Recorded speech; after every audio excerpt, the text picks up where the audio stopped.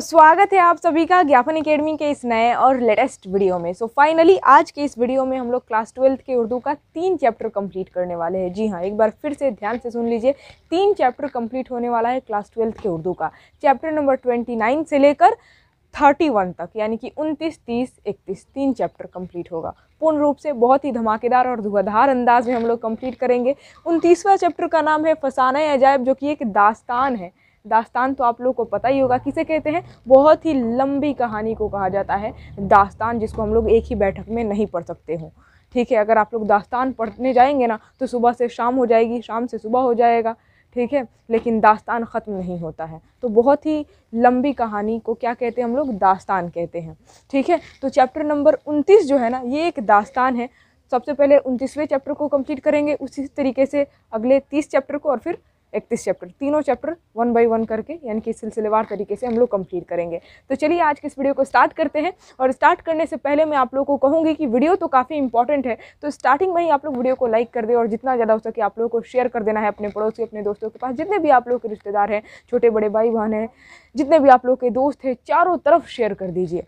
ताकि सभी लोग इस वीडियो का लाभ उठा सके। चैनल पर अगर आप लोग नए नए आए हुए हैं, हमारे वीडियोस को पहली बार देख रहे हैं तो चैनल को सब्सक्राइब करके नोटिफिकेशन बेल ऑन कर लीजिएगा, ताकि जब भी वीडियो अपलोड हो तो नोटिफिकेशन आप तक सबसे पहले पहुँचे। So now without any deal let's go to start सबसे पहले हम लोग समझते हैं, फसाना अजायब, ये जो दास्तान है सबसे पहले तो मैं यही आप लोगों को बताना चाहूँगी कि इस दास्तान के जो दास्तान निगार हैं, यानी कि लिखने वाले हैं, वो है मिर्ज़ा रजब अली बेग सुरूर। एक बार फिर से नाम सुन लीजिए, फसाना अजायब। ये पूरा दास्तान नहीं पढ़ना है आप लोगों को। इस दास्तान का छोटा सा एक हिस्सा, छोटा सा एक टुकड़ा पढ़ना है। समझिए कि फसाना अजाब ये दास्तान का किताब है। पूरा दास्तान का किताब आप लोगों को नहीं पढ़ना है। उसी का एक छोटा सा टुकड़ा दे दिया गया है। ठीक है, उसी को मतलब इकतबास आप यूँ कह सकते हैं कि उसी को आप लोगों को पढ़ना है, पूरी कहानी नहीं पढ़नी है, ठीक है?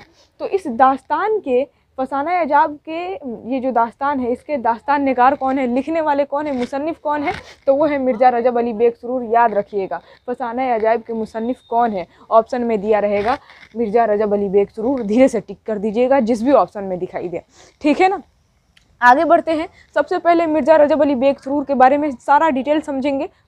कुछ ज़्यादा डिटेल्स भी नहीं दिया गया है। थोड़ा बहुत डिटेल्स दिया गया है, जो कि मैं बोर्ड पर लिख दी हूँ। ये जो दास्तान है, इस दास्तान में जो भी कहानी बताई गई है, इस चैप्टर में जो भी कहानी बताई गई है, उसको मैं एकदम सिलसिलेवार तरीके से बताऊँगी। आप लोग टेंशन नहीं लीजिए, बहुत ही ज़्यादा इंटरेस्टिंग कहानी है। एकदम मज़ेदार यमन के बादशाह की कहानी है। बादशाह जो कि बहुत ज़्यादा ईमानदार रहता है, लेकिन बहुत बड़ा बेवकूफ़ इसके बेवकूफ़ी की कहानी आप लोगों को सुननी है। लास्ट में तो एकदम एंडिंग जो किया गया है, एकदम मज़ेदार है।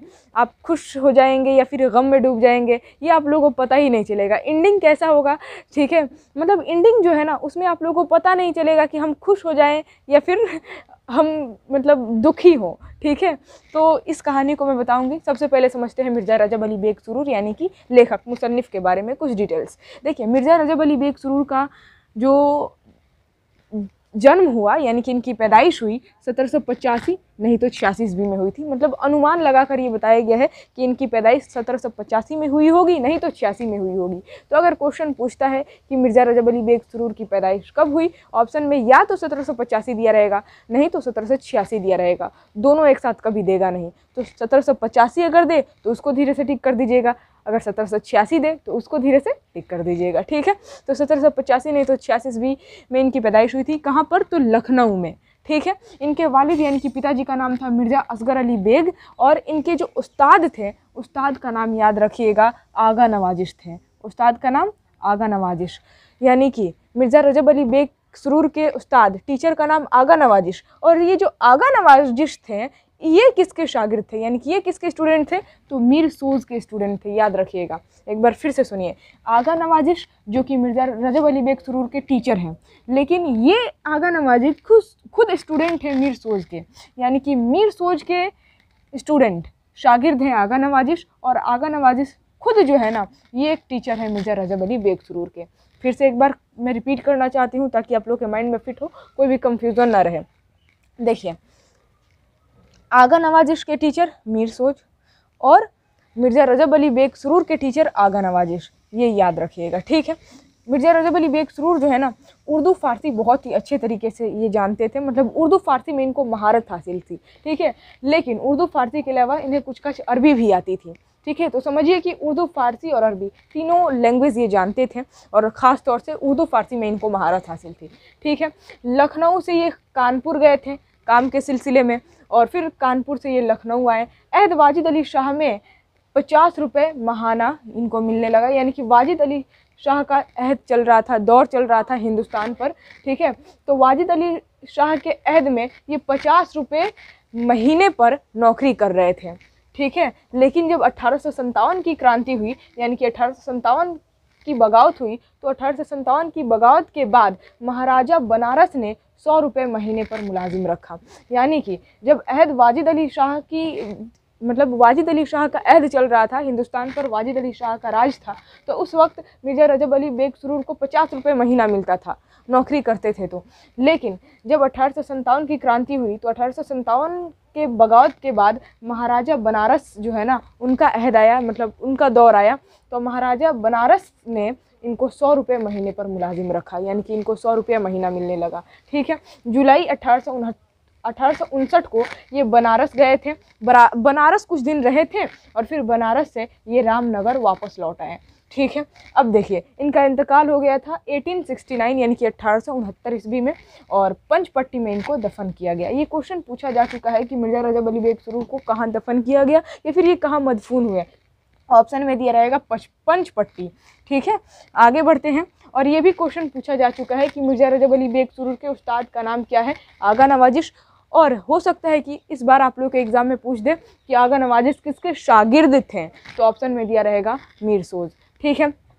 अब देखिए, मिर्ज़ा रजब अली बेग सुरूर के तसनीफ़ का नाम यहाँ पर कुछ दे दिया गया। तसनीफ़ यानी कि क्रिएशन इनका खुद का लिखा हुआ है, फसाना अजायब ये किताब। ये किताब लिखा गया था कानपुर में, पूर, यहाँ पर रे छोड़ दी हूँ मैं, रा। ठीक है? तो फसाना अजायब, ये जो किताब लिखा गया था, कानपुर में लिखा गया था अट्ठारह सौ ईस्वी में। और इनकी कुछ और किताबों के भी नाम यहाँ पर लिख दी हूँ मैं। सुरूर सुल्तानी, शगुफ़ मोहब्बत, शबिस्तान सुरूर, गुलजार सुरूर, फसाना अबरत। ठीक है? तो ये सब जो है ना, मिर्ज़ा रजब अली बेग सुरूर की किताबें हैं। याद रखना है। बस इतना ही डिटेल्स दिया गया है आप लोगों के बुक में, रजब अली बेग सुरूर के बारे में। ठीक है? तो अब चलिए मैं आप लोगों को ये पूरी दास्तान जो आप लोगों के बुक में दी गई है, जो कहानी बताई गई है, उसको एकदम सिलसिलेवार तरीके से शॉर्ट कट में ही बताऊँगी, ज़्यादा समय नहीं लूँगी, ताकि कम समय में पूरी कहानी आप लोग समझ सकें और पूरा चैप्टर कंप्लीट कर सकें। अगर आप लोग यहाँ तक स्क्रीन शॉट लेना चाहते हैं तो कोई दिक्कत नहीं है, ले लीजिए फटाफट स्क्रीन शॉट अब चलिए मैं आप लोगों को ये पूरी कहानी बताती हूँ। देखिए, ये कहानी है, जैसा कि मैं आप लोगों को बताई, यमन के बादशाह की। यमन का बादशाह रहता है जो कि बहुत ज़्यादा नेक दिल, साफ़ गो और ईमानदार रहता है। उस बादशाह के पास कभी भी, कोई भी, कुछ भी मांगने के लिए आता ना तो खाली हाथ जाने नहीं देते थे ये बादशाह। मतलब अपने महल से कभी भी किसी को खाली हाथ नहीं जाने देते थे, कुछ ना कुछ मतलब जो कुछ भी, कोई भी इंसान कुछ भी मांगने के लिए आता तो उसकी मांग को पूरा करके ही भेजते थे। ठीक है, क्योंकि इनके पास सब कुछ था, बादशाह थे तो किस चीज़ की कमी होगी? ठीक है? तो कुछ भी, कोई भी मांगने के लिए आता, कोई भी साइल मांगने के लिए आता तो उसको खाली हाथ नहीं जाने देते थे, साइल को कुछ ना कुछ देकर ही भेजते थे। तो उसी तरीके से इनकी इसी ईमानदारी और इसी नेक दिली का फ़ायदा जो है ना, एक साइल ने उठाया। ठीक है? हालाँकि यमन के बादशाह को इनकी जो आवाम थी, इनकी जनता, वो खुदा दोस्त के नाम से पुकारती थी और इनको फ़रकंद फ़रखंदा वक्त भी कहा जाता था। याद रखिएगा, यमन के बादशाह को क्या कहा जाता था? तो फ़रखंदा वक्त फ़रखंदा वक्त कहा जाता था। ये इंपॉर्टेंट है क्वेश्चन पूछा जा सकता है ऑब्जेक्टिव में। तो यमन के बादशाह जो बहुत ज़्यादा नेक दिल, साफ़ और ईमानदार थे, इनकी ईमानदारी और इनकी नेक दिली की वजह से इनकी जो आवाम थी, यानी कि इनकी जनता, वो उन्हें परखंद वक्त बुलाती थी और एक और नाम से पुकारती थी, खुदा दोस्त के नाम से। खुदा दोस्त इनको कहा जाता था, क्योंकि बहुत ही ज़्यादा नेक दिल थे ये। अब देखिए, इनकी नेक दिली को देख, को ही देखकर और इनकी ईमानदारी को देखकर जो है ना, एक सायल आया और इन्हें बेवकूफ़ बनाया। एक सायल आया इनके महल में और बादशाह से बोला कि, हमने सुना है कि आप खुदा दोस्त हैं आपको फ़रखंदा वक्त कहा जाता है, लेकिन मैं नहीं मानता, क्योंकि मैं आपके महल में कुछ मांगने के लिए आया हूँ। आप हमारी मांग को पूरा करें, तभी मैं मानूँगा कि हाँ आप फ़रखंदा वक्त हैं, आप खुदा दोस्त हैं। आप हमारी मांग को पूरा कीजिए। अब ये बात सुनकर जो है ना, यमन के बादशाह जो है, वो चौंक उठे, बोले कि बताओ, तुम्हारी क्या मांग है? तुम क्या मांगना चाहते हो हमसे? तो जो साइल था, वो यमन के बादशाह से कहा कि मैं चाहता हूँ कि आप हमें तीन दिनों के लिए यमन का बादशाह बना दें। आप अपना तख्त व ताज हमें तीन दिनों के लिए सौंप दें। अब ये बात सुनकर यमन के बादशाह यहाँ पर थोड़ा सा भी नहीं सोचे। यहीं पर ये सबसे बड़ी बेवकूफ़ी का काम किए, सबसे बड़ी गलती यहीं पर किए। ये साहिल को तीन दिनों के लिए बादशाह बना दिए, अपना तख्त व ताज तीन दिनों के लिए साहिल को दे दिए। अब क्या हुआ? साहिल जो है ना, वो बादशाह बन गया। कहाँ एक गरीब, फ़कीर इंसान, मांगने वाला इंसान, राजा के पोस्ट पर चला गया, राजा बन गया। राज करने लगा। यमन मुल्क पर राज करने लगा। जब इसी तरीके से तीन दिन पूरा हो गया तो यमन के बादशाह गए उस साहिल के पास जो तीन दिनों के लिए राजा बना हुआ था, बादशाह बना हुआ था, उसके पास गए और बोले, बादशाह, कि देखो तुम्हारा तीन दिन पूरा हुआ, अब लाओ मेरा तख्त ताज वापस करो, अब मैं यमन के मुल्क का बादशाह हूँ। तो वो जो साहिल था, वो यमन के बादशाह से कहा कि, ये तो मैं आपका इम्तहान ले रहा था कि आप मुझे तीन दिनों के लिए बादशाह बना रहे हैं कि नहीं? आप इम्तहान में पास हुए, मैं आपको फ़रखंदा वक्त मानता हूँ। लेकिन अब मैं चाहता हूँ कि मैं हमेशा के लिए यमन का बादशाह बन जाऊँ। आप हमें हमेशा के लिए यमन का बादशाह बना दीजिए तो मैं मानूँगा। तो यहाँ पर इससे भी बड़ी गलती की है यमन के बादशाह कि हमेशा के लिए उस साहिल को यमन का बादशाह बना दिए। सबसे बड़ा बेवकूफ़ी का काम किए थे यहाँ पर यमन के बादशाह। सोचिए, ईमानदार होना ठीक है, लेकिन ईमानदारी में बेवकूफ़ी का काम करना, बिना सोच समझकर फैसला लेना सबसे बड़ा बेवकूफ़ी का काम होता है। ठीक है ना? तो यहाँ पर क्या किए? यमन के बादशाह उस साहिल को हमेशा के लिए बादशाह बना दिए, हमेशा के लिए अपना तख्त ताज दे दिए। ठीक है? अब तो साहिल जो है ऐश आराम की ज़िंदगी बसर करने लगा। गरीब था और डायरेक्ट राजा बन गया, बादशाह बन गया। महल में सब कुछ था ऐश आराम की ज़िंदगी बसर करने लगा, हमेशा के लिए बादशाह बन गया। अब ज़रा यमन के पुराने वाले बादशाह की इनका हाल सुनिए। अब इनको उस शहर को छोड़कर जाना पड़ा। उस शहर से निकलकर अपने बीवी बच्चों के साथ दूसरे शहर में चले गए ये। दूसरे शहर में गए थे, कोई एक ढाबा था, वहीं पर रुके हुए थे ये। उनकी बीवी थी और इनके दो बच्चे थे। ठीक है, अपने बीवी बच्चों के साथ खड़े थे, तभी एक सौदागर आया इनके पास। यमन के जो पुराने वाले बादशाह थे, अब अपने शहर को छोड़कर दूसरे शहर में चले गए थे, ढाबा के पास खड़े हुए थे, रुके हुए थे। ठीक है तो वहाँ पर एक सौदागर आया। और वो सौदागर बादशाह से कहा कि देखिए, हमारी बीवी की डिलीवरी होने वाली है। उसे दर्द जह हो रहा है, यानी कि डिलीवरी का दर्द हो रहा है। आप प्लीज़ आप अपनी बीवी को हमारे साथ जाने दीजिए। ठीक है? कोई भी दाई नहीं मिल रही है, कोई भी हकीम नहीं मिल रहा है, मैं क्या करूँ? आप अपनी बीवी को हमारे साथ जाने दीजिए। तो यहाँ पर तीसरी सबसे बड़ी गलती किए थे। बादशाह जो है ना, बिना सोचे समझे अपनी बीवी को सौदागर के साथ भेज दिए। वो सोचे कि बेचारी, उसकी बीवी का दर्द जय हो रहा है, यानी कि डिलीवरी का दर्द हो रहा है, डिलीवरी होने वाला है तो मेरी बीवी मदद कर देगी तो अच्छा ही रहेगा। तो यहाँ पर बिना सोचे समझे जो है ना, यमन के बादशाह, यानी कि पुराने वाले बादशाह, क्या किए? अपने बीवी को सौदागर के साथ भेज दिए। अब वो सौदागर इनकी बीवी को बैठाया घोड़े पर और इतना तेज़ लेकर भागा कि दोबारा लौट कर वापस नहीं आया। यानी कि इनकी बीवी भी किडनैप हो गई। किडनैप क्या हमेशा के लिए लेकर भाग गया? ठीक है। अब यहाँ पर बादशाह इंतज़ार कर रहे थे। इंतज़ार कर रहे थे कि उनकी बीवी को सौदागर लेकर आएगा लेकर आएगा लेकर आएगा, लेकिन वो सौदागर लेकर कहाँ आने वाला है? वो तो लेकर भाग गया उनकी बीवी को। ठीक है, इंतज़ार कर रहे थे, कर रहे थे, कर रहे थे, शाम हो गई। अब ये सोचे कि अब ढूंढा जाए अपनी बीवी को। सौदागर तो धोखा दे दिया। चलो ढूंढते हैं। इनके दो बच्चे थे, अपने दोनों बच्चों को साथ में लेकर ये ढूँढने लगे अपनी बीवी को। चलते चलते, रास्ता चलते चलते रास्ते में जो है ना, नदी आई। अब ये सोचे कि नदी को पार किया जाए तैर कर। ठीक है? तो अपने बड़े बेटे को नदी के किनारे खड़ा कर दिए और जो उनका छोटा बेटा था, उनको कंधे पर लेकर, यानी कि कंधे पर रखकर नदी तैर कर पार करने लगे। तैरते तैरते हुए जब बीच नदी में पहुँचे तो जो किनारे पर अपने बड़े बेटे को खड़ा किए थे, नदी के किनारे जो बड़े बेटे को खड़ा किए थे, उसको भेड़िया उठाकर लेकर चली गई। यानी कि जब भेड़िया उठाकर लेकर जा रही थी तो बेटा चिल्लाया कि, बाबा बचाइए। तब तक जैसे ही बाबा, यानी कि बादशाह घूम कर देखे अपने बड़े वाले बेटे को, वैसे ही छोटा वाला बेटा जो कंधे पर था, वो नदी में गिर गया और नदी उसको बहा कर लेकर चली गई। तो यहाँ पर दोनों बेटे हाथ से गए। यानी कि जो नदी के किनारे खड़ा उनका बेटा था, बड़ा बेटा, उसको तो भेड़िया उठा कर लेकर चली गई। और जैसे ही वो चिल्लाया बचाने के लिए कि, बाबा, बचाइए! वैसे ही बादशाह जैसे ही घूमे अपने बड़े बेटे को देखने के लिए, वैसे ही छोटा बेटा उनके कंधे पर से गिर गया और नदी उसको बहा कर लेकर चली गई। तो सोचिए, यहाँ पर बादशाह के पास क्या बचा? कुछ नहीं। ना उनका सल्तनत रहा, ना उनकी बादशाहत रही, ना उनकी बीवी रही और ना उनके बच्चे रहे। बड़ा वाला बच्चा को भेड़िया उठा ले गया और छोटे वाले बच्चे को नदी बहा कर लेकर चली गई। उनके पास बचा क्या? कुछ भी नहीं। यही होता है सोच समझ कर फैसला नहीं लेने का अंजाम। तो यहाँ पर आप लोगों को सीख इस कहानी से यही मिलती है कि कोई भी फैसला लो तो सोच समझ कर लेना चाहिए। अगर बादशाह सोच समझ कर फैसला लेता, ईमानदारी होनी चाहिए, लेकिन ईमानदारी में बेवकूफ़ी नहीं करनी चाहिए। अगर वो सोच समझ कर फैसला लेता तो उसके पास बादशाहत भी रहती, उसके पास बीवी भी रहती, और उसके पास बच्चे, उसके दोनों बच्चे भी रहते। लेकिन सोचिए, आज उसके पास कुछ भी नहीं है। इसके आगे की भी कहानी है, लेकिन आगे की कहानी सुनने के लिए आप लोगों को फसाना अजायब ये पूरा दास्तान का किताब पढ़ना होगा। ठीक है? तो फाइनली यहाँ पर ये जो कहानी बताई गई थी इस चैप्टर में, वो पूरी कहानी मैं शॉर्ट कट में ही बताने की कोशिश की हूँ ताकि कम समय में पूरा चैप्टर कंप्लीट हो जाए। आई होप आप लोग को कहानी समझ में आई होगी। कैसा लगा कहानी? कमेंट बॉक्स में लिख कर बताइएगा। बादशाह पर गुस्सा आ रहा है कि बादशाह का हालत देखकर उस पर तरस आ रहा है। ज़रा कमेंट बॉक्स में लिख कर बताइएगा, ठीक है?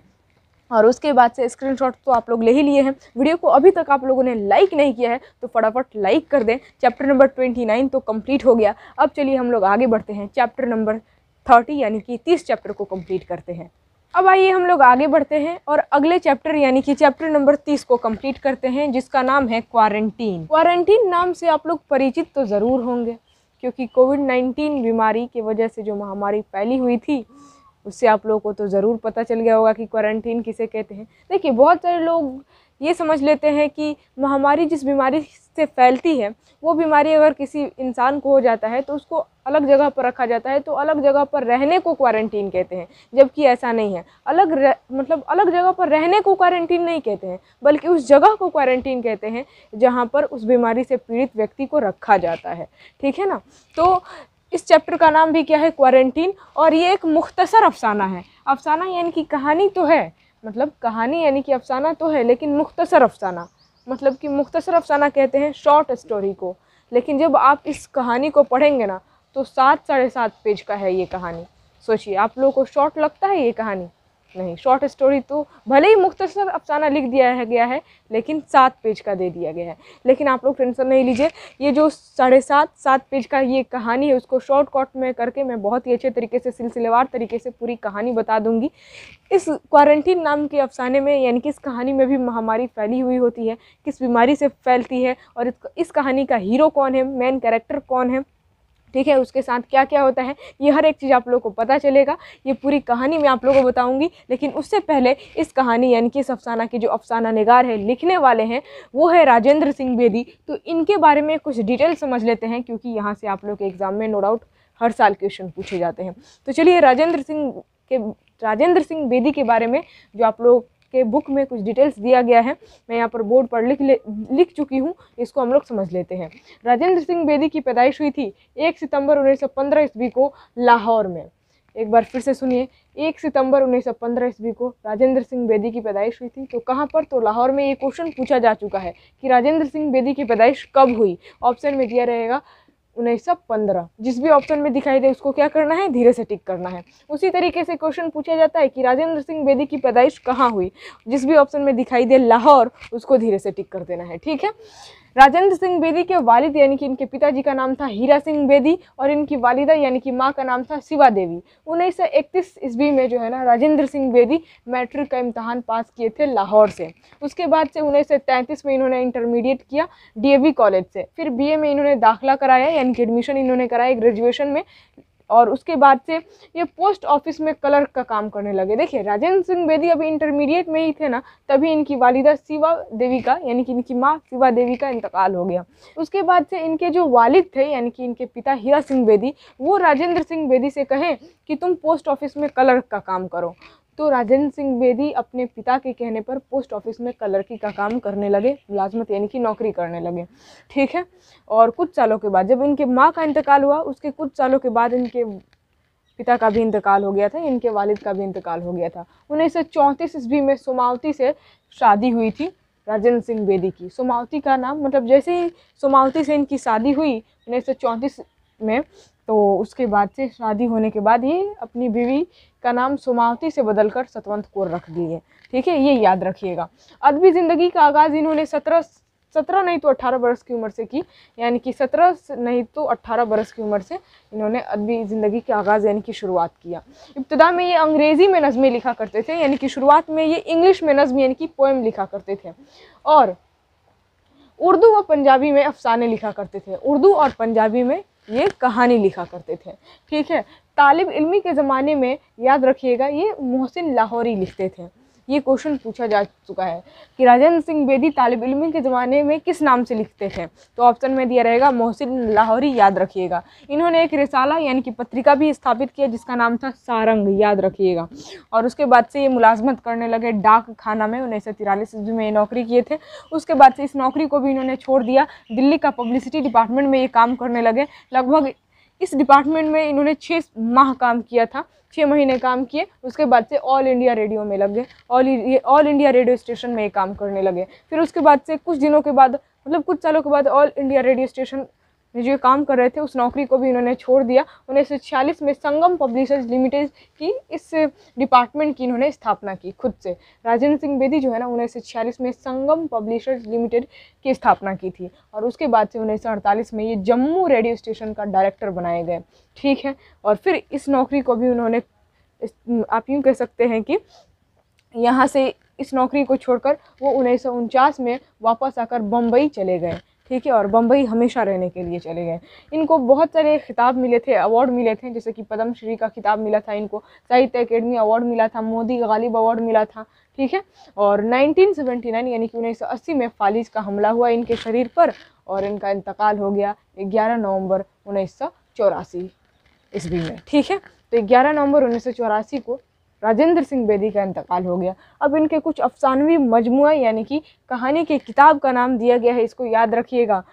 जैसे कि है, दाना व दाम ग्रहण कोक जली, अपने दुख मुझे दे दो, हाथ मेरे कलम हुए, मुक्ति बोल, ये सब क्या है? राजेंद्र सिंह बेदी के कहानी की किताबें यानी कि अफसानवी मजमू हैं।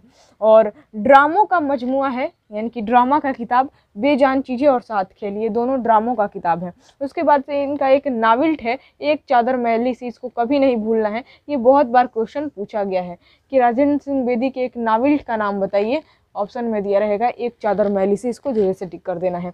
यहाँ पर तो फाइनली राजेंद्र सिंह बेदी के बारे में जो कुछ भी डिटेल्स आप लोग के बुक में दिया गया था, वो मैं लिख कर आप लोग को बता ही दी। अगर आप लोग यहाँ तक स्क्रीन लेना चाहते हैं तो कोई दिक्कत नहीं है, ले सकते हैं। हालाँकि इसका पीडीएफ भी टेलीग्राम पर अपलोड कर दिया जाएगा। अगर आप लोग टेलीग्राम से नहीं जुड़े हैं तो ज़रूर जुड़े। ज्ञापन अकेडमी ऑफिशियल टेलीग्राम चैनल का नाम है। लिंक इसी वीडियो के डिस्क्रिप्शन में भी डाल दिया गया है। आप लोग क्लिक करके भी जुड़ सकते हैं। मतलब लिंक से लिंक पर क्लिक करके भी जुड़ सकते हैं, नहीं तो आप लोग, अगर आप लोग के मोबाइल में टेलीग्राम ऐप है तो सर्च करके भी ज्वाइन कर सकते हैं, ठीक है? तो वहाँ पर इसका पीडीएफ भी डाल दिया जाएगा। अदरवाइज़ अगर आप लोग यहाँ तक स्क्रीनशॉट लेना चाहते हैं तो कोई दिक्कत ही नहीं है। ले लीजिए फटाफट स्क्रीन शॉट अब चलिए मैं आप लोगों को ये क्वारंटीन जो अफसाना है, मुख्तसर अफसाना सिर्फ़ कहने को ही नाम के लिए है मुख्तसर अफसाना, लेकिन सात, साढ़े सात पेज का है। तो इस पूरी कहानी को शॉर्ट कट में आप लोगों को बताती हूँ, ताकि कम समय में हम लोग ज़्यादा नॉलेज गेन कर पाएँ और कम समय में पूरा चैप्टर कंप्लीट कर पाएँ। ठीक है? तो क्वारंटीन इस अफसाने का जो मेन कैरेक्टर है, मरकज़ी किरदार, आप यूँ कह सकते हैं हीरो वो है विलियम भागो। विलियम भागो ये हीरो रहता है। अभी पहले देखिए कहानी की शुरुआत कैसे होती है। जैसा कि कहानी का टाइटल ही है क्वारंटीन यानी कि इस कहानी में बताया गया है कि शहर में महामारी फैली हुई है। और महामारी कौन सी बीमारी की वजह से?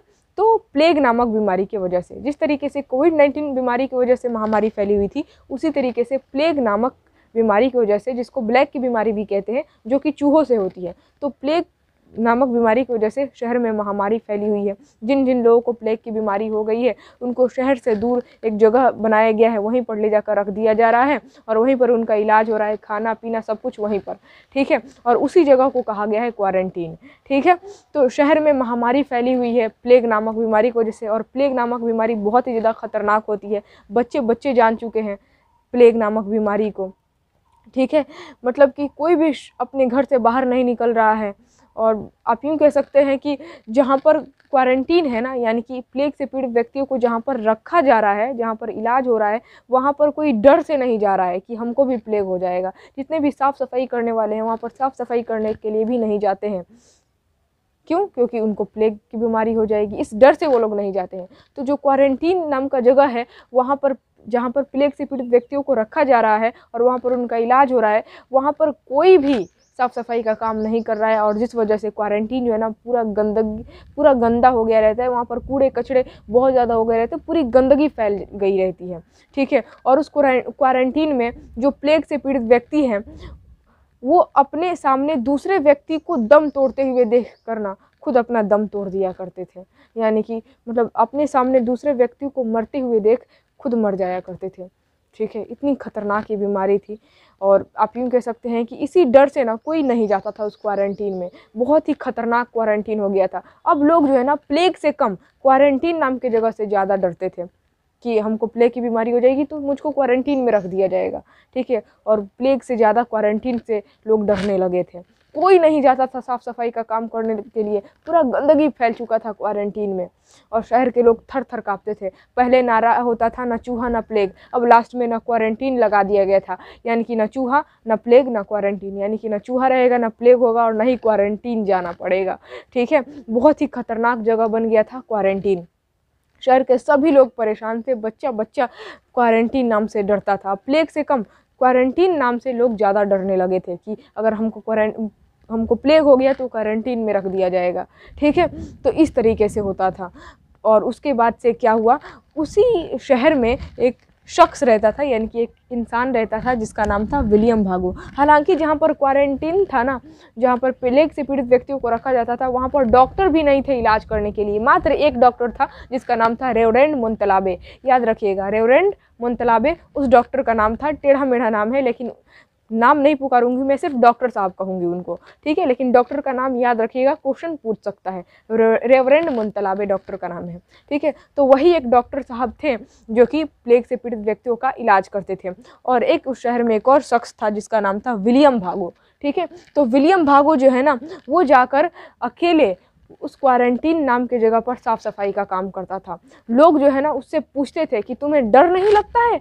जाकर तुम वहाँ पर साफ़ सफ़ाई का काम करते हो? अगर तुमको प्लेग हो गया तो? तो विलियम भागो कहता था कि इंसान का सबसे बड़ा कर्म और धर्म है इंसानियत। इंसान बुरे समय पर दूसरे इंसान की मद, मदद ना करे तो वो इंसान कहलाने के लायक ही नहीं है। इंसान को हमेशा दूसरे इंसान की मदद करते रहनी चाहिए ठीक है? और और जब मौत का क्या है? मौत जब हमारे ज़िंदगी में लिखी हुई होगी, तब आ जाएगी। हो सकता है कि आज ही मुझको प्लेग हो जाए और आज ही मैं मर जाऊँ। हो सकता है कि मैं, मुझको प्लेग हो ही ना, मैं मरूँ ही ना। ठीक है? तो मौत का कोई भरोसा नहीं है। कभी भी मौत आ सकती है। ये सारी बात कहता, लेकिन सभी लोग विलियम भागो की सिर्फ़ बात को सुन लिया करते थे। कोई अपने आप में बदलाव नहीं लाते थे। बेचारा अकेले विलियम भागो जाता और क्वारंटीन की साफ़ सफ़ाई करता था। इसको पता था कि प्लेग नामक ये जो बीमारी है, ये जड़ से ख़त्म होगी साफ़ सफ़ाई की वजह से। जितना ही ज़्यादा साफ़ सफ़ाई रखा जाएगा, उतना ही जल्दी जो है ना प्लेग नामक ये बीमारी ख़त्म होगी, जड़ से ख़त्म हो जाएगी। ठीक है? तो ये जाकर साफ़ सफ़ाई करता था। उसके बाद से उस क्वारंटीन नाम की जगह पर जो डॉक्टर थे रेवरेंड मुंतलाबे तो डॉक्टर साहब भी मरीजों का इलाज करते थे। वो भी मतलब अहम रोल निभा रहे थे, लेकिन इसमें जो सबसे ज़्यादा मेन रोल था, वो था विलियम भागो का ठीक है? तो वहाँ पर डॉक्टर साहब इलाज कर रहे थे। क्वारंटीन नाम की जगह पर और दिन भर इलाज करते थे और जब रात को घर आते थे तो राम बालक साबुन से हाथ धोते थे कुल्ले किया करते थे गर्म पानी से गलाले किया करते थे और उसके बाद से क्या करते थे कि गर, एकदम गर्म गर्म कॉफ़ी या फिर ब्रांडी पी लिया करते थे। ताकि जो है ना, उनके पेट में अगर कीटाणु चला भी गया हो, वायरस चला भी गया हो तो फिर वो गर्मी की वजह से मर जाए, ठीक है? तो ये याद रखिएगा, क्वेश्चन पूछा जा सकता है कि डॉक्टर साहब जो है ना, प्लेग नामक बीमारी से बचाव के लिए क्या करते थे? तो घर आकर दिन भर तो डॉक्टर डॉक्टर बनकर एज अ डॉक्टर वो मरीज़ों का इलाज करते थे और जब रात को घर आते थे तो राम बालक साबुन से हाथ धोते थे, गरारे किया करते थे गर्म पानी से, उसके बाद से गरम गरम कॉफ़ी या फिर ब्रांडी पी लिया करते थे। ठीक है? तो ये सारे काम करते थे डॉक्टर साहब। एक दिन क्या हुआ कि डॉक्टर साहब रात को घर आए, राम बालक साबुन से हाथ धोकर, गरारे वगैरह करके और गरम गरम ब्रांडी बहुत ज़्यादा पी लिए। उसके बाद से तो डॉक्टर साहब की नफ्स जो है ना घोड़े की तरह दौड़ने लगी उनका दिमाग में अजीब सी बेचैनी होने लगी घबराहट होने लगा। तो एक तरीके से ए, मतलब एक पल के लिए डॉक्टर साहब को ऐसा लगा कि मुझको भी प्लेग की बीमारी हो गई है। अजीब सा उनके साथ होने लगा नफ्स घोड़े की तरह दौड़ने लगा था दिल धड़कने लगा था ठीक है? अजीब सा दिमाग में उनका होने लगा था ठीक है? चक्कर सा आने लगा था, घबराहट फील हो रही थी। तो एक वक्त के लिए इन्हें ऐसा लगा कि इनको भी प्लेग नाम की बीमारी हो गई है। लेकिन जैसे जैसे ब्रांडी का नशा उतरा, तब इनको समझ में आया। ओ हमको प्लेग की बीमारी नहीं हुई है, बल्कि मैं ज़्यादा ब्रांडी पी लिया था। ठीक है? तो इस तरह से चलता गया चलता गया मतलब प्लेग से पीड़ित व्यक्तियों को डॉक्टर साहब इलाज करते थे और विलियम भागो जो है ना, साफ़ सफ़ाई का काम करता था। दवा वगैरह छिड़कता था, झाड़ू वगैरह लगाता था मतलब साफ़ सफ़ाई का काम करता था। एक दिन हुआ क्या कि विलियम भागो की वाइफ यानी कि इसकी पत्नी को प्लेग की बीमारी हो गई। तो विलियम भागो दौड़े विलियम भागो जो है ना, ये दौड़े दौड़े अपने पत्नी को गोद में उठाकर लेकर आया था डॉक्टर साहब के पास और बोला कि, डॉक्टर साहब डॉक्टर साहब, हमारी बीवी को प्लेग हो गया है। जरा इसका इलाज कर दीजिए। लेकिन वहाँ पर डॉक्टर साहब जो है ना, विलियम भागो की पत्नी का इलाज करने से मना कर दिए। और कुछ देर के बाद जो है ना, विलियम भागो की पत्नी यानी कि इसकी बीवी का इंतकाल हो गया। उसकी मौत हो गई। और उसके बाद से इसकी मतलब विलियम भागो की बीवी का जो बच्चा था, यानी कि विलियम भागो का जो बच्चा था, वो अपनी माँ के सीने से लिपट कर जो रो रहा था ना, उस वक्त के मोमेंट को देखकर डॉक्टर साहब को भी मतलब ऐसा, डॉक्टर साहब को भी बहुत ज़्यादा दुख हुआ। उनकी आँखों से भी आँसू निकल आए कि काश मैं इलाज कर दिया रहता, इसकी बीवी का। तो इसकी बीवी रह जाती, बच जाती आज। मतलब अफसोस हुआ डॉक्टर साहब को, मैंने मना कर दिया। उसके बाद से मतलब डॉक्टर साहब को ऐसा लगा कि विलियम भागो, मुझसे गुस्सा हो गया होगा, अब वो कल से साफ़ सफ़ाई का काम करने के लिए नहीं आएगा, वो काम करने आएगा ही नहीं। डॉक्टर साहब को ऐसे लगा। लेकिन अगले ही दिन डॉक्टर साहब क्या देखते हैं कि विलियम भागो उसी तरीके से काम करने के लिए आता है साफ़ सफ़ाई करता है। भले ही उसकी बीवी का इंतकाल यानी कि मौत ही क्यों ना हो गई हो। ठीक है? तो डॉक्टर साहब जो है ना, वो विलियम भागो से पूछते हैं कि तुम्हारी बीवी का इंतकाल हो गया और तुम फिर भी काम करने के लिए आए हो तो फिर वही बात विलियम भागो दोहराता है कि इंसान का सबसे बड़ा धर्म और कर्म है इंसानियत। इंसान को दूसरे इंसान की मदद करती रहनी चाहिए। मौत क्या क्या है? जब भी भी मौत लिखी हुई होगी, वो हो जाएगी। हो सकता है डॉक्टर साहब, आपको प्लेग की बीमारी हो जाए, आपकी मौत हो जाए। हो सकता है कि हमको प्लेग की बीमारी हो जाए, हमारी मौत हो जाए। मौत का कोई भरोसा नहीं है। ठीक है? तो इंसान को अपनी ज़िंदगी में अच्छे कर्म करके जाना चाहिए, क्योंकि इस दुनिया से आप जाएँगे तो अकेले जाएँगे, कुछ लेकर नहीं जाएँगे जाएँगे तो आपका कर्म आपके साथ जाएगा। तो ज़िंदगी में अच्छे कर्म करो, ठीक है? ये सारा बात कहता, ठीक है? उसके बाद से कुछ दिनों के बाद इसी तरीके से विलियम और भी ज़्यादा, विलियम भागो जो है ना, और भी शिद्दत से और जोश जुनून के साथ साफ़ सफ़ाई का काम करने लगा। और कुछ दिनों के बाद क्या हुआ? कि प्लेग नामक बीमारी पर काबू पा लिया गया। यानी कि जो प्लेग की बीमारी थी, वो जड़ से ख़त्म हो गई, सिर्फ़ और सिर्फ़ विलियम भागो के वजह से। क्योंकि ये और भी ज़्यादा जोश जुनून शिद्दत से काम करने लगा, दवाई वगैरह छिड़क कर साफ़ सफ़ाई का काम और भी ज़्यादा जोश जुनून के साथ करने लगा। और इसी की वजह से आप यूँ कह सकते हैं कि प्लेग नामक बीमारी पर काबू पाया गया। ठीक है? ये डॉक्टर साहब बेहतर समझते थे। उसके बाद से जब प्लेग नामक बीमारी पर काबू पा लिया गया तो बहुत बड़ा जश्न हुआ, जलसा हुआ, ठीक है? और उसी में डॉक्टर साहब को बुलाया गया था, लेकिन सभी को यही लग रहा था कि डॉक्टर रेवरेंड मुंतलाबी की वजह से प्लेग नामक बीमारी पर काबू पाया गया है। लेकिन डॉक्टर साहब बेहतर जानते थे कि विलियम भागो की वजह से ही प्लेग नामक बीमारी जड़ से ख़त्म हुई है। ठीक है? लेकिन जलसा जो हुआ, जो आप जश्न हुआ ना, उसमें डॉक्टर साहब को बुलाया गया था और बेचारा विलियम भागो अकेले कोने में खड़ा होकर देख रहा था। डॉक्टर साहब जो है ना, उनको बुलाया गया और उनको लेफ्टिनेंट कर्नल का दर्जा दिया गया, यानी कि उनका अहदा और भी ज़्यादा बड़ा हो गया। और ये सब कुछ जो है ना, विलियम भागो एक कोने में खड़ा होकर देख रहा था। जब जश्न ख़त्म हुआ तो विलियम भागो जो है ना, वो जाने लगा। तो डॉक्टर साहब आए विलियम भागो के पास और बोले कि देखो विलियम भागो मैं जानता हूँ कि जो प्लेग नामक बीमारी पर काबू पाया गया है ना, सिर्फ़ और सिर्फ़ तुम्हारे वजह से। लेकिन सभी लोग हमको समझ रहे हैं कि हमारे वजह से प्लेग नामक बीमारी पर काबू पाया गया है। असली हीरो तो तुम हो, ठीक है? वाकई में तुम साफ़ सफ़ाई का काम किया और तुम्हारी वजह से इस पर काबू पाया गया है, ठीक है? तो ये सारा बात जो है ना डॉक्टर साहब बोलते हैं तो विलियम भागो बोला कि कोई बात नहीं है। मतलब कि विलियम भागो ये नहीं चाहता था कि हमारी तारीफ़ हो, ठीक है? हमको लोग जाने पहचाने बस इसने कर्म किया। ये चाहता था कि किसी भी तरीके से इस बीमारी पर काबू पा लिया जाए और कुछ नहीं, ये चाहता था। मतलब जैसे कुछ लोग होते हैं ना कि कोई काम करते हैं तो अपना नाम भी करवाते हैं कि हमने ये काम किया है, अब हमारी तारीफ़ करो, लोग हमको जाने। उस तरीके से ये नहीं था, ठीक है? मतलब इसको कोई बड़ा अहदा नहीं मिला, कोई पोस्ट नहीं मिला, ये नॉर्मल, जिस तरह से नॉर्मल इंसान रहते हैं, उसी तरीके से ये था, ठीक है? और फाइनली यहीं पर ये कहानी ख़त्म हो जाती है, ठीक है? अब चलिए हम लोग चैप्टर नंबर थर्टी वन को समझते हैं, लेकिन अभी तक अगर आप लोग वीडियो को लाइक नहीं किए हैं तो फटाफट लाइक कर दे।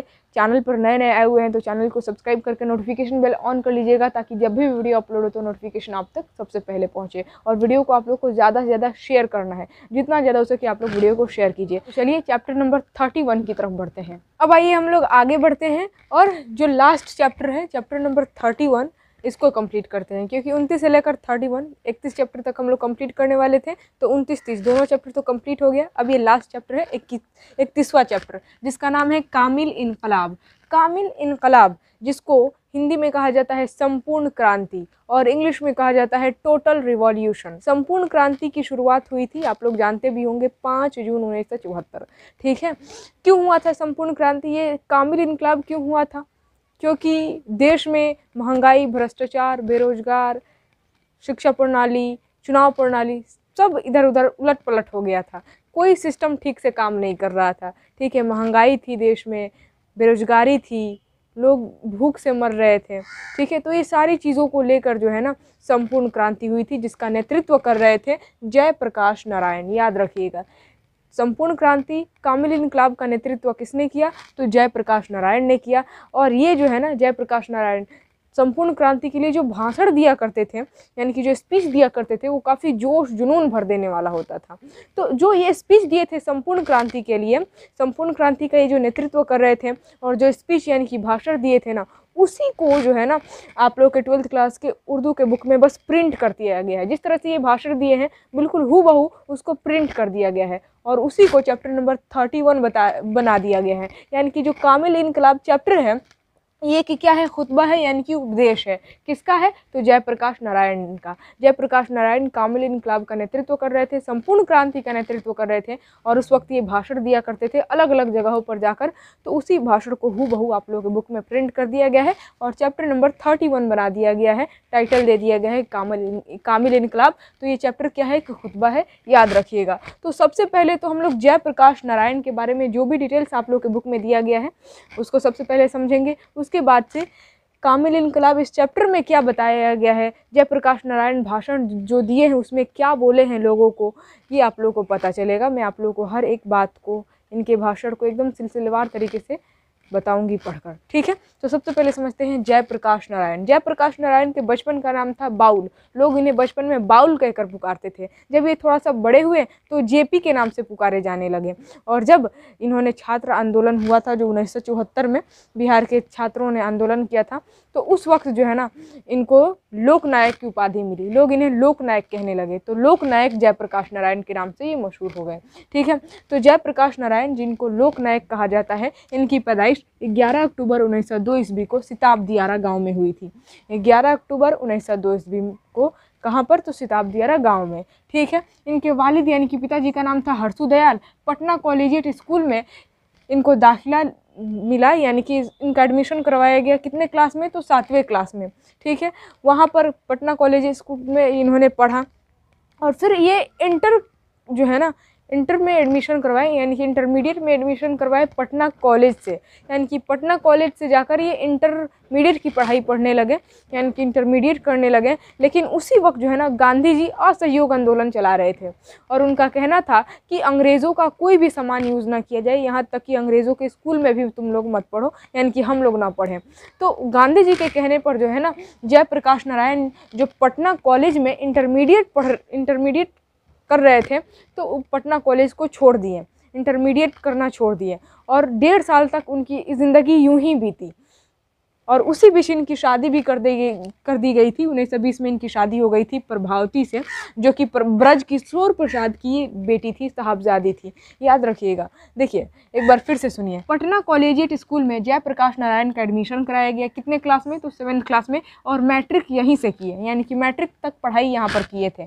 और उसके बाद से ये एडमिशन ले लिए पटना कॉलेज में इंटरमीडिएट करने के लिए। लेकिन उस वक्त गांधी जी असहयोग आंदोलन चला रहे थे तो उनके कहने पर जो है ना जयप्रकाश नारायण पटना कॉलेज को छोड़ दिए और उनकी ज़िंदगी जो है ना, डेढ़ साल तक यूँ ही बीती और इसी बीच इनका शादी कर दिया गया था उन्नीस सौ बीस में। किससे? तो प्रभावती नाम की लड़की से, जो कि ये प्रभावती जो थी ना, वो ब्रज किशोर प्रसाद की बेटी थी, लड़की थी। ठीक है? तहरीक आज़ादी की वजह से पटना कॉलेज छोड़कर बिहार विद्यापीठ से इंटरमीडिएट इन्होंने किया। अब तो इनकी ज़िंदगी डेढ़ साल तक यूँ ही बीती और यहाँ तक कि बीच में जो है ना, गांधी जी असहयोग आंदोलन को स्थगित भी कर दिए थे क्योंकि क्योंकि उस वक्त चोरी चोरा हत्याकांड भी हो गया था।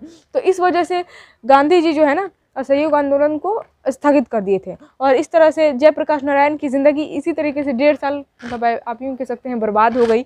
तो फिर इन्होंने क्या किया कि बिहार विद्यापीठ से इंटरमीडिएट की डिग्री हासिल की, यानी कि इंटरमीडिएट किया कहाँ से? तो बिहार विद्यापीठ से। कौन से सब्जेक्ट से? तो साइंस से इन्होंने इंटर किया था इंटरमीडिएट किया था। मतलब पटना कॉलेज को ये छोड़ दिए थे। तहरीक आज़ादी, यानी कि आज़ादी का जो आंदोलन चल रहा था, उसी के वजह से पटना कॉलेज को छोड़कर ये बिहार विद्यापीठ से इंटरमीडिएट किए थे। ठीक है? कौन से सब्जेक्ट तो साइंस सब्जेक्ट याद रखिएगा। प्रोफेसर फूलदेव सहाय वर्मा के पास ये बनारस चले गए। यानी कि इंटरमीडिएट करने के बाद, आगे की तालीम हासिल करने के लिए, आगे की पढ़ाई के लिए ये प्रोफेसर फूलदेव सहाय वर्मा के पास चले गए, जो कि वो बनारस में रहा करते थे। उसके बाद से 15 मई उन्नीस सौ बाईस ईस्वी को आला तालीम के लिए ये अमेरिका चले गए। 15 मई उन्नीस सौ बाईस ईस्वी को। ये आगे की पढ़ाई के लिए कहाँ चले गए? तो अमेरिका चले गए। और जब ये अमेरिका गए ना तो भारत के लोग इन्हें अमेरिका का दलाल कहे थे। सोचिए, पढ़ने के लिए गए थे। वहाँ पर पढ़ाई किए, चप्पल वगैरह सिलकर, जूता वगैरह साफ़ कर कर, एक रेस्टोरेंट में काम करके जो है ना, ये पढ़ाई किए थे। मतलब इनके अब्बू की उतनी हैसियत नहीं थी, इनके पिताजी की उतनी हैसियत नहीं थी कि अमेरिका भेज कर पढ़ाएँ। तो किसी तरीके से ये अमेरिका चले गए और वहाँ पर मतलब चप्पल वगैरह सिलकर आप यूँ कह सकते हैं जूदा पॉलिश वगैरह करके होटल में काम करके जो है ना, ये जो भी इनको मंथली मिलता था, उससे अपनी पढ़ाई कर रहे थे वहाँ पर। और यहाँ पर भारत के लोगों ने जयप्रकाश नारायण को अमेरिका का दलाल तक कह दिया। ठीक है तो ये याद रखिएगा, क्वेश्चन पूछा जा सकता है कि अमेरिका का दलाल किसे कहा गया? ऑप्शन में दिया रहेगा जयप्रकाश नारायण। ठीक है, उसके बाद से कैलिफ़ोर्निया, शिकागो और रूस की तालीमी अदारे का भी इन्होंने यूज़ किया था अपने एजुकेशन में, ठीक है? और उसके बाद से इन्होंने समाजियात में एमए किया ओहायो यूनिवर्सिटी से। ओहायो यूनिवर्सिटी से समाजियात में इन्होंने एमए कर लिया और सितंबर उन्नीस को ये हिंदुस्तान वापस आ गए क्योंकि इनकी माँ का इंतकाल हो गया था, ठीक है? पीएचडी ये करने वाले थे। एमए तो कर लिए थे ओहायो यूनिवर्सिटी से। और पीएचडी करने वाले थे, तभी इनकी माँ का इंतकाल हो गया। तो ये सितंबर उन्नीस सौ उनतीस को हिंदुस्तान वापस आ गए। जब ये हिंदुस्तान आए उन्नीस में तो उन्नीस सौ तीस में ये गिरफ़्तार कर लिए गए। उन्नीस सौ तीस में गिरफ़्तार कर लिए गए तो उन्नीस सौ तीस से लेकर उन्नीस सौ तैंतीस तक ये नासिक जेल में रहे थे। तो उन्नीस सौ तीस से लेकर तैंतीस, तीन सालों तक ये नासिक जेल में रहे। ठीक है? उसके बाद से देखिए, आगे मैं लिख दी हूँ, उन्नीस सौ बयालीस के आंदोलन में गिरफ़्तार हुए थे। उन्नीस सौ बयालीस का जो भारत छोड़ो आंदोलन हुआ था, उस वक्त इनको गिरफ़्तार कर लिया गया और इनको हज़ारीबाग जेल में बंद कर दिया गया था। अब देखिए, ये कितना चलाक थे। जयप्रकाश नारायण हज़ारीबाग जेल में बंद थे, इनको बंद कर दिया गया था, लेकिन दिवाली के दिन जो है ना, हज़ारीबाग जो जेल था, वहाँ से सत्रह फीट ऊँची दीवार को कूद कर जो है ना ये भाग गए थे जेल से बाहर भाग गए थे। ठीक है, सोचिए, कितनी हिम्मत देखिए इनकी। हज़ारीबाग जेल में इनको बंद किया गया था और उसी जेल के सत्रह फीट ऊँची दीवार को कूद कर ये भाग गए थे, जेल से बाहर निकल गए थे। और ये कहा जाता है कि ये भाग गए तो अच्छा ही किए, अगर ये नहीं भागते तो भारत छोड़ो, तहरीक ये सफल भी नहीं होता। ठीक है, आंदोलन वो सफल भी नहीं होता, सक्सेस भी नहीं होता। ठीक है तो ये हज़ारीबाग जेल से उन्नीस सौ बयालीस ईस्वी में जो भारत छोड़ो आंदोलन हुआ था, उसी वक्त इनको गिरफ़्तार किया गया था और ये दिवाली के दिन भागे थे। सत्र कितनी फीट ऊँची दीवार कूद कर भागे थे तो सत्रह फीट ऊँची दीवार याद रखिएगा, ये भी क्वेश्चन पूछा जा सकता है। आगे बढ़ते हैं। 18 सितंबर उन्नीस सौ तैंतालीस ईस्वी को इन्हें फिर गिरफ़्तार कर लिया गया, क्योंकि हज़ारीबाग जेल से ये भागे थे तो फिर इनको दोबारा गिरफ़्तार किया गया 18 सितंबर उन्नीस सौ तैंतालीस को, और लाहौर किला में इनको रखा गया, और फिर इनका ट्रांसफ़र भी हो गया, यानी कि लाहौर किला से इनको आगरा जेल में ट्रांसफ़र कर दिया गया। ठीक है? जेल से बाहर ये निकले थे 11 अप्रैल उन्नीस सौ चौंसठ को। सोचिए, उन्नीस में ये जो है ना, गिरफ़्तार किए गए और जेल से बाहर निकले थे 11 अप्रैल उन्नीस सौ चौंसठ को। और उन्नीस सौ चौहत्तर में जो है ना, बिहार के तलबा, बिहार के जितने भी तलबा तलबा थे यानी कि छात्र थे, उन्नीस सौ चौहत्तर में बिहार के तालब इलमों की तहरीक की क़्यादत हाथ में लेकर एक कामयाब मुल्क, गैर अवामी तहरीक की बुनियाद रखी। यानी कि उन्नीस उन्नीस सौ चौहत्तर में बिहार के जो छात्र आंदोलन कर रहे थे तो छात्र आंदोलन का नेतृत्व अभी जो है ना जयप्रकाश नारायण ने ही किया था। ठीक है? उन्नीस सौ पचहत्तर में इमरजेंसी लगते ही गिरफ़्तार हो गए थे। जयप्रकाश नारायण जो उन्नीस सौ पचहत्तर में इमरजेंसी लगा था ना, उसी वक्त, जैसे इमरजेंसी लगा, उसी वक्त इनको गिरफ़्तार कर लिया गया और गिरफ़्तार हुए। तो जब तक इन, इमरजेंसी नहीं उठा, तब तक ये जेल में रहे थे, यानी कि उन्नीस सौ सतहत्तर में इमरजेंसी उठा था। तो उन्नीस सौ सतहत्तर में इमरजेंसी उठने तक ये जेल में रहे और फिर जेल अस्पताल की बिस्तर पर रहे, क्योंकि ये बूढ़े हो चुके थे। तो जेल से बाहर निकले तो फिर जे मतलब उन्नीस सौ सतहत्तर जब इमरजेंसी उठा तो जेल से बाहर और फिर उसके बाद से अस्पताल के बिस्तर पे। मतलब इनका तबीयत ठीक नहीं रहता था, अब बूढ़े हो चुके थे और उसके बाद से इनका इंतकाल हो गया अट्ठारह अक्टूबर उन्नीस सौ उनासी को, नाइनटीन सेवेंटी नाइन। ठीक है, उन्नीस सौ सतहत्तर में तो ये बाहर ही निकले थे और उसके बाद से अस्पताल में ही रहे, हॉस्पिटल में ही रहे। उन्नीस उनासी में इनका इंतकाल हो गया। इनकी तसनीफ़ यानी कि क्रिएशन का नाम दिया गया है, जैसे कि कामिल इनकलाब सर सर्वोदय और जेल डायरी। ये इनका खुद का लिखा हुआ है, सर्वोदय और जेल डायरी, ये याद रखिएगा। कामिल इनकलाब तो खुद आप लोग इनकी स्पीच पढ़ने ही जा रहे हैं अभी। और ज़्यादातर ये लिखा करते थे इंग्लिश में, ये भी याद रखिएगा। तो यहाँ पर जयप्रकाश नारायण के बारे में जो कुछ डिटेल्स दिया गया था कुछ कस नहीं दिया गया था, बहुत ज़्यादा डिटेल्स दिया गया था। उसको शॉर्ट कट करके मैं बोर्ड पर लिखी थी और मैं आप लोगों को समझा दी। आई होप आप लोगों को समझ में आया होगा। अगर समझ में आया है तो एक बार लाइक ज़रूर कर दे लाइक नहीं किए हैं तो। और अगर आप लोग यहाँ तक स्क्रीन लेना चाहते हैं तो कोई दिक्कत नहीं है स्क्रीन ले सकते हैं। और उसके बाद से मैं आप लोगों को ये कामिल इनकलाब इनका जो खुतबा है, वो पढ़कर आप लोगों को बताऊँगी। बहुत ही ज़बरदस्त भाषण ये दिया करते थे। तो सबसे पहले लीजिए फटाफट स्क्रीन शॉट अब चलिए मैं आप लोगों को ये जो चैप्टर है कामिल इनकलाब यानी कि जो स्पीच दिए हैं, भाषण दिए हैं जयप्रकाश नारायण, उसको पढ़कर बताती हूँ। बहुत ही जोश जुनून भर देने वाला स्पीच होता है इनका, जरा सुनिएगा ध्यान से। बोल रहे हैं जयप्रकाश नारायण कि इस तहरीक को मैं कामिल इनकलाब की हैसियत से देखता हूँ, यानी कि इस आंदोलन को मैं संपूर्ण क्रांति की हैसियत से देखता हूँ, संपूर्ण क्रांति की नज़र से देखता हूँ। और मुझे यकीन है कि इसकी वजह से सियासी, माशरती, तालीमी और अखलाकी एतबार से बुनियादी तब्दीलियाँ वाक़ होंगी। और मुझे यकीन है कि इसके वजह से इस क्रांति की वजह से सियासी, सामाजिक और आर्थिक रूप से बदलाव नज़र आएँगे। आज जो हमारा समाजी ढांचा है, उससे बिल्कुल मुख्तलिफ़ ढांचा उभरेगा, जहाँ नापसंदीदा अनासर की कम से कम गुंजाइश होगी। अभी जो आज का हमारा समाजी ढांचा है, इससे बिल्कुल अलग होगा हमारे नए समाज का ढांचा। ठीक है, एक ऐसे नए हिंदुस्तान की तामीर हमारी कोशिश है, जहाँ का हर बाशिंदा खुश और मुतमिन ज़िंदगी गुजारेगा। एक ऐसे नए हिंदुस्तान की तामीर हमारी कोशिश है, एक ऐसे नए हिंदुस्तान बनाने की हमारी कोशिश है, जहाँ का हर बाशिंदा, हर रहने वाला इंसान खुश और मुतमिन ज़िंदगी गुजारेगा, खुश और शांति की ज़िंदगी गुजारेगा। अमीरों और गरीबों के दरमियान वह दूरी नहीं होगी जिसे आज हम देख रहे हैं, यह माजी की बात हो जाएगी। ठीक है? नए माहौल में समाजी बुराइयाँ नहीं होगी। जो नया समाज हमारा बनेगा, उसमें समाजी बुराइयाँ नहीं होगी। अमीरों और गरीबों में फ़र्क नहीं किया जाएगा। सभी लोग बराबर होंगे। ठीक है? मुआशी एतबार से एक ऐसा ढांचा उभरेगा जहाँ समाज के गरीब और कमज़ोर तबकों की फलाह व बहबूद को अवलियत हासिल होगी। हरिजन, आदिवासी, मुसलमान ज़रूरी मजदूर, बेज़मीन किसान और इसी तरह के दूसरे पेशेवरों की हालत में तब्दीली पर पहले ध्यान दिया जाएगा। यानी कि जो हरिजन है, आदिवासी, मुसलमान ज़रूरी मजदूर, बेज़मीन किसान, इन मतलब इस तरह के जो दूसरे पेशेवर हैं, उनकी हालत में तब्दीली लाने के लिए उन पर सबसे पहले ध्यान दिया जाएगा। ठीक है? आगे बोला गया है कि समाजी बुराइयाँ मसलन छुआछूत जात पात फ़िरका वारियत को ख़त्म करना है। यानी कि जो छुआछूत है ज़ात पात को लेकर भेदभाव किया जाता है, इसको ख़त्म करना है। हम हम हिंदुस्तानी हैं, हम इंसान हैं, ठीक है? हम क्या है? हम हिंदुस्तानी, हम इंसान हैं और हम ही परिवर्तन ला सकते हैं, ठीक है? ये एक ऐसे नए समाज, एक ऐसे नए हिंदुस्तान की तामीर हमारी कोशिश है, जहाँ पर सभी लोग बराबर हो खुश और मुतमिन यानी कि खुश और शांति की ज़िंदगी गुजारें, जहाँ पर कोई भी छुआछूत, छोटे बड़े जात पात को लेकर भेदभाव ना हो।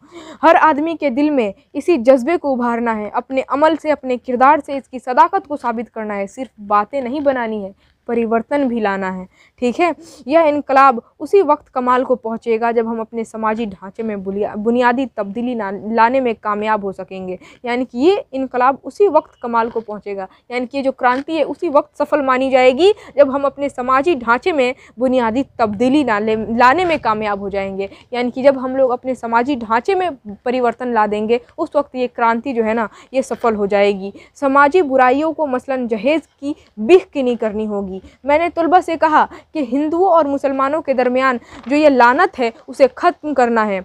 आप कहेंगे कि लड़कों के बाप तिलक दहेज मांगते हैं। जब तक हम अपने लड़कों के लिए तिलक नहीं लेंगे तो अपनी लड़कियों की शादी के वक्त कहाँ से देंगे? लड़कों के बापों की मांग को कैसे पूरी करेंगे? मुझे लड़कों और लड़कियों के वालदेन से कहना है कि आपकी औलाद जानवर नहीं, घोड़े बैल नहीं कि उसका सौदा किया जाए, ये तो नहायत ही शर्म की बात है। यहाँ पर बोल रहे हैं कि, और ये जो समाज में बुराइयाँ फैली हुई हैं, सबसे बड़ी आप यूँ कह सकते हैं कि जहेज़, तिलक जहेज़, इसको ख़त्म करना होगा। बहुत सारे लोग कहते हैं कि जब तक हम अपने लड़के में जहेज़ नहीं लेंगे तो लड़की में देंगे कैसे? बहुत सारे लोग जो है ना, अब अभी के समाज में ज़्यादातर जो है ना जहेज़, तिलक लिया जा रहा है, ठीक है? और बहुत सारे पेरेंट्स का कहना है कि जब तक हम लेंगे नहीं तो देंगे कैसे जहेज? तो यहाँ पर जयप्रकाश नारायण कह रहे हैं कि मैं मैं उन सभी वालदेन से कहना चाहता हूँ, मैं उन सभी माता पिता से कहना चाहता हूँ कि आपके औलाद जानवर नहीं हैं, घोड़े बैल नहीं हैं कि उनका सौदा किया जाए। वो आपके बच्चे हैं। हमारा मुआरा और ख़ास कर कदीमी मुआरा मुख्तलिफ़ रहा है। सीता ने रामचंद्र जी को अपना खाविंद चुना। पहले स्वयंबर हुआ करते थे, जहाँ लड़कियाँ अपने शोहर मंतखब करती थी। आज लड़कों के वालदेन, आज लड़कियों के वालदेन, लड़कों के वालदेन को राज़ी करते हैं और वो कहते हैं, आप पहले लड़कों को राज़ी करें, तब मैं कुछ कर सकूँगा। लड़कों से बात करो तो अच्छी लड़की भी उन्हें चाहिए और बाहर जाने के अखराज के अलावा अम्बेसडर गाड़ी भी कोई इन बदबख्तों को बतलाए कि तुम्हें लड़की से शादी करनी है या गाड़ी से, तुम अपनी बीवियाँ चुन रहे हो या साइकिल। बहुत ही ज़बरदस्त अंदाज में यहाँ पर धोए हैं। जयप्रकाश नारायण तिलक जहेज़ को लेकर, यानी कि यहाँ पर तिलक जहेज़ पर वार करते हुए कह रहे हैं कि जो समाजी बुराइयाँ हैं, तिलक जहेज़ आप यूँ कह सकते हैं, जो लिया जा रहा है, आपके बच्चे घोड़े बैल नहीं है, जानवर नहीं है कि उनका सौदा किया जाए। पहले लड़कियाँ जो है ना, अपना शोहर खुद मंतखब करती थी, खुद चुनती थी, और आज लड़कियों के वालदेन, लड़कों के वालदेन को राज़ी करते हैं, और फिर कहा जाता है कि आप लड़के को राज़ी करें, ठीक है? और लड़कों से पूछो तो अच्छी लड़की भी चाहिए, और बाहर जाने के अखराज यानी कि जहेज भी चाहिए। अम्बेसडर गाड़ी भी चाहिए, सोना का चैन भी चाहिए, ठीक है? मतलब कि तुम्हें लड़की से शादी करनी है या गाड़ी से? तुम अपनी बीवियाँ चुन रहे हो या साइकिल? अगर लड़की से शादी करनी है तो लड़की अच्छी चुनो ना, ठीक है?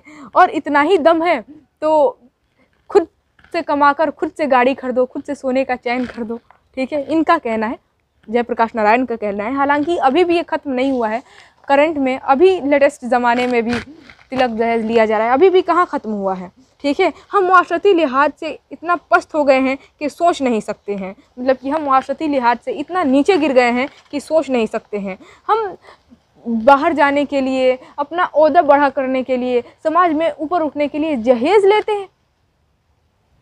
लड़की वालों की तरफ़ से जहेज लेते हैं। सोचिए, कितनी शर्म की बात है। मैं नौजवानों से पूछना चाहता हूँ कि क्या अपनी शादी के वक्त तुम जहेज तिलक चाहोगे? तो नौजवानों के अंदर इतनी हिम्मत होनी चाहिए कि वह कहे कि नहीं, तिलक जहेज की लानत को ख़त्म करना होगा। मैं नौजवानों से कहूँगा कि तुम अपनी ज़ात से बाहर शादी करो। हमने ज़ात और गोतर जैसी लानत को सर पर चढ़ा कर रखा है। ऊंच नीच के तफरके को लाजमी तौर पर ख़त्म किया जाना चाहिए। कामिल इनकलाब का नज़रिया उस वक्त तक पूरा नहीं किया जा सकता, जब तक समाज में इस तरह के तफरके मौजूद हो। यानी कि कामिल इनकलाब का नज़रिया उस वक्त तक पूरा नहीं किया जा सकता, यानी कि कामिल इनकलाब तब तक सफल नहीं होगी, जब तक समाज में इस तरह के तफरके मौजूद रहेंगे। ठीक है? आगे देखिए लिख रहा है, इसकी मंजिल कामिल इनकलाब है, पूरे तर्ज ज़िंदगी के अंदर बुनियाद तब्दीली लानी है या इनकी ज़िंदगी के अंदर परिवर्तन लाना है, एक बहुत बड़ा परिवर्तन, ठीक है? हर पहलू से माशरे की सफ़ाई हो, वरना अच्छाई पे बुराई हावी ही रहेगी। और जो अच्छे मुस्तकबिल का ख्वाब हम देख रहे हैं, वह कभी पूरा नहीं हो सकता है। यानी कि हर पहलू से, हर क्षेत्र से सफ़ाई होनी ज़रूरी है। हर पहलू से माशरे की सफ़ाई हो, वरना अच्छाई पर बुराई हावी ही रहेगी। और जो हम अच्छे मुस्तकबिल, अच्छे फ्यूचर का जो ख्वाब हम देख रहे हैं, वह कभी पूरा नहीं हो सकता। लिहाजा ज़रूरत है कि पूरे माशरे की असलाह के लिए हम कदम उठाएँ और टुकड़ों में इसे बाँटें नहीं। हमारी मंजिल बहुत अहम है, लेकिन वह काफ़ी दूर है। हमारी मंजिल जो है ना, हमारे लिए काफ़ी अहम है, लेकिन बहुत दूर। हमारा मकसद साल जमहूरियत है आवाम की हुकूमत बनानी है। यानी कि भारत पर अवाम की हुकूमत बनानी है, यहाँ पर लोकतंत्रात्मक शासन चलता है। ठीक है, इस्तेसाल को ख़त्म करना है और तंग दिली और तफरक़ात की दीवार को मुसम्मार कर देना, एक नए हिंदुस्तान की तामीर करनी है। मैं लगातार गांधी के रास्ते पर ज़ोर दे रहा हूँ, आप इसे मेरा खुतबा कह सकते हैं। यहाँ पर जो है ना, जयप्रकाश नारायण गांधी जी के रास्ते पर चलने की तलकिन करते हैं, क्योंकि गांधी जी का मानना है कि हमें पुरतशद रास्ते को अपनाना चाहिए, यानी कि अहिंसात्मक तरीके को अपनाना चाहिए। मतलब इनका कहना है, जयप्रकाश नारायण का कहना है कि मैं लगातार गांधी के रास्ते पर चलने के लिए ज़ोर दे रहा हूँ। क्यों? क्योंकि गांधी जी ने पुरतशद राह को अपनाया, अहिंसात्मक तरीके को अपनाया। हिंसा नहीं करना है तोड़ फोड़ नहीं करना है, अहिंसात्मक, यानी कि शांतिपूर्ण प्रदर्शन करना है। ठीक है, गांधी जी के रास्ते पर चलना है। और वही बोल रहे हैं कि अमन का ख्याल रखे बगैर यह नामुमकिन है। यानी कि लिहाजा जहन से तशद की बात तो बिल्कुल निकाल दे। यानी कि यहाँ पर बोला जा रहा है कि अगर आप एक तशद करेंगे, अगर आप एक हिंसा करेंगे तो मद्दे मुकाबिल सौ करने की सलाहियत रखते हैं। तो आपके मुकाबले में सौ लोग करने की सलाहियत रखते हैं। लिहाजा जहन से तशद की बात तो बिल्कुल निकाल ही दे। यानी कि हिंसा करने की बात तो अपने अंदर से निकाल ही दे। और हिंसात्मक तरीके से हमें अपनी मांग को पूरी करवानी है। यानी कि अहिंसात्मक हम लोगों को अहिंसात्मक तरीका अपनाना है, शांतिपूर्ण प्रदर्शन करना है। ठीक है, यह तहरीक साल जमहूरीत के क्याम के लिए है और साल जमहूरीत तशद तशद और डंडों के ज़ोर पर कायम नहीं हो सकती है। यानी कि साल जमहूरियत जो है ना तशद यानी कि हिंसा और डंडों के ज़ोर पर कायम नहीं की जा सकती। अमन का ख्याल रखे बगैर यह नामुमकिन है। यानी कि अगर आप, अगर हम लोग अपनी बात मनवाना चाहते हैं तो फिर ये तशद यानी कि हिंसा का राह नहीं अपनाना पड़ेगा। डंडों के ज़ोर पर ये नहीं किया जा सकता, ये मुमकिन ही नहीं है। हमें अहिंसात्मक राह अपनाना पड़ेगा, शांतिपूर्ण प्रदर्शन करना होगा। ठीक है? अमन और जमहूरियत एक सिक्के के दो पहलू है, एक दूसरे के बगैर इनका वजूद मुमकिन नहीं है। यानी कि शांति और लोकतंत्र एक सिक्के के दो पहलू हैं। एक दूसरे के बगैर जो है ना, इनका वजूद मुमकिन नहीं है। चूँकि मैं, चूँकि मुझे जमहूरियत में यकीन है, लिहाजा मुझे तशद में यकीन नहीं। जयप्रकाश नारायण का कहना है कि मैं लोकतंत्र पर विश्वास करता हूँ, मुझे लोकतंत्र पर यकीन है। इसी वजह से मुझे हिंसा पर यकीन नहीं। ठीक है? पुरमन इनकलाब में ढांचा की तब्दीली और नए तर्ज पर अमल साथ साथ चला करते हैं। अगर पुरतशद इनकलाब खुदा न खास्ता हिंदुस्तान में आता है तो उसे काफ़ी अरसा लगेगा, लेकिन पुरमन इनकलाब फ़ौर लाया जा सकता है और वह तो आ चुका है। यानी कि अगर हम अपनी हिंसात्मक तरीके को ना अपना कर अहिंसात्मक तरीका अपनाए, शांतिपूर्ण प्रदर्शन करें तो हम अपनी बात मनवा सकते हैं। ठीक है? यहाँ पर देखिए लिखा गया है, जब समाजी मसाइल तकलीफ़ व हद तक पहुँच जाते हैं, तब आवाम की बेचैनी नए हालात को जन्म देती है। और जैसा कि कार्ल मार्क्स ने कहा है कि क्वांटिटी क्वालिटी में बदल जाती है।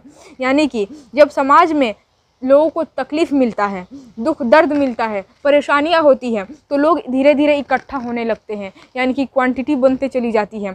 और जब धीरे धीरे लोग इकट्ठा होने लगते हैं तो इकट्ठा होकर वो प्रदर्शन करते हैं, मांग करते हैं, और वही क्वांटिटी क्वालिटी में बदल जाती है।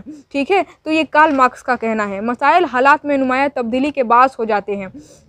बदउनवानी के सिलसिले में आज वही सूरत हाल है। मतलब अभी भी हमारे साथ वही हो रहा है। हमें, हमारे समाज में हमें बहुत ज़्यादा तकलीफ़ मिली है, ठीक है? बहुत ज़्यादा परेशानियाँ देखने को मिल रही हैं, बहुत ज़्यादा दुख है, दर्द है मतलब सही तरीके से सिस्टम काम नहीं कर पा रहा है। इस वजह से हमें भी एक साथ मिलकर जो है ना क्वांटिटी को क्वालिटी में बदलना होगा, यानी कि एक साथ मिलकर हमें ये प्रदर्शन करना होगा, एक साथ मिलकर ये क्रांति करनी होगी। ठीक है? उसने हालात में नुमाया तब्दीली ला दी है और इनकलाबी तब्दीलियों के लिए ज़मीन तैयार हो चुकी है। यह तब्दीली आने वाली है, वरना यह समाजी ढांचा ही टूट जाएगा, बिखर जाएगा। यानी कि जो परिवर्तन है, ये परिवर्तन आने वाला है, वरना यह समाजी ढांचा ही टूट जाएगा, बिखर जाएगा। ठीक है? इनकलाब तो समाजी हालत और तारीख की कोख से उभरता है। इनकलाबी रहनुमाई की खसूसियत ये होती है कि वक्त के धारे को पहचान लेता है। जो इनकलाबी रहनुमा होते हैं, यानी कि जो क्रांति, जो इनकलाब, यानी कि क्रांति का नेतृत्व करते हैं, वो वक्त के धारे को पहचान लेते हैं कि कब क्या करना है। हमारी कोशिश होनी चाहिए कि अपनी पूरी ताकत से अदम अदम तशद की राह अपनाकर मसाइल के हल की तलाश करें। ठीक है? यानी कि यहाँ पर बोल रहे हैं जयप्रकाश नारायण की, हमारी तरफ़ से पूरी कोशिश होनी चाहिए कि पूरी ताकत के साथ हम हिंसात्मक राह ना अपनाकर अहिंसात्मक तरीका अपनाएँ, शांतिपूर्ण प्रदर्शन करें और इसका हल निकालें। ठीक है, हम आज एक तारीखी मोड़ पर खड़े हैं। आगे देखिए, आगे लिख रहे हैं अब आगे बोल रहे हैं जयप्रकाश नारायण कि अपने मुल्क को इसी तरह के इनकलाब की ज़रूरत है, लेकिन कौन आएगा आगे? कौन आगे आएगा? कौन मुल्क के लिए कुर्बानी देने को तैयार है? इस मुल्क की रूह को नौजवानों ने बहुत तकवीत पहुंचाई है। नौजवान ही यहाँ की रूहानियत के इलम बरदार हैं। अद्वियत फ़लसफ़ा के बानी शंकराचार्य ने अपनी उठती जवानी के दिनों में रूहानियत का प्रचार प्रसार शुरू किया। जब स्वामी विवेकानंद ने वेदांत का फलसफा शिकागो के अमेरिकी माहौल में आलमी बर्दारी के सामने रखा तो वह जवान ही थे। गांधी जी ने जब जनूबी अफ्रीका में नस्ली इम्तियाज़ के खिलाफ जिहाद छेड़ा, उस वक्त वह नौजवान थे। दक्षिण अफ्रीका के हिंदुस्तानियों के दरमियान ज़िंदगी की रूह उन्होंने ही फूकी। दोस्तों, रूहानियत नौजवानों की कौत परवाज चाहती है। लड़खड़ाते हुए बुढ़ापे की यहाँ इतनी अहमियत नहीं। यानी कि यहाँ पर बोल रहे हैं कि आज हमारे देश में कुछ इसी तरीके कि इनकलाब की ज़रूरत है, कुछ इसी तरीके की क्रांति की ज़रूरत है, लेकिन कौन आएगा आगे? कौन आगे आएगा? मुल्क के लिए कौन कुर्बानी देने को तैयार है? याद करो अद्वैत फलसफा के बानी शंकराचार्य जो थे ना उन्होंने उन्होंने अपनी उठती जवानी के दिनों में ही रूहानियत का प्रचार प्रसार किया था। स्वामी विवेकानंद को तो आप लोग जानते ही होंगे, स्वामी विवेकानंद ने वेदांत का फलसफा शिकागो के अमेरिकी माहौल में आलमी बरदार के सामने रखा था तो उस वक्त वो नौजवान ही थे। गांधी जी ने जब जनूबी अफ्रीका में नस्ली इम्तियाज़ के खिलाफ जिहाद छेड़ा था, यानी कि नस्ली जो भेदभाव हुआ करता था, उस वक्त इन्होंने जिहाद छेड़ा था। उस वक्त वो नौजवान ही थे। यहाँ तक कि दक्षिण अफ्रीका के हिंदुस्तानियों के दरमियान ज़िंदगी की रूह उन्होंने ही फूकी। उस वक्त उन्होंने, उस वक्त वो नौजवान ही थे। यानी कि इस वक्त, इस देश के लिए नौजवानों को आगे आना होगा।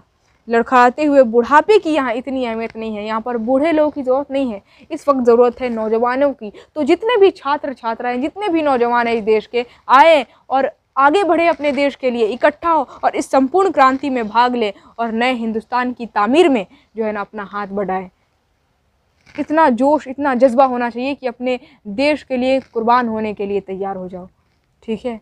कुर्बान भी होना पड़े तो हँसते हँसते कुर्बान हो जाओ। ठीक है?